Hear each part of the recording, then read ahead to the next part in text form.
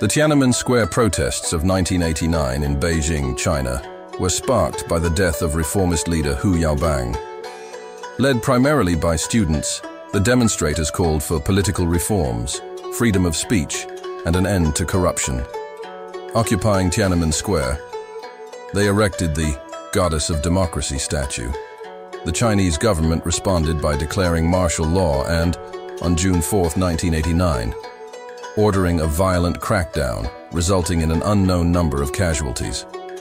The international community condemned the actions, imposing sanctions on China. The government enforced strict censorship and protest leaders faced arrests and imprisonment.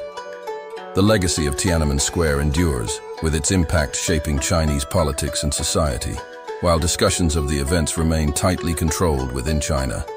Subscribe for more. Thank you for watching.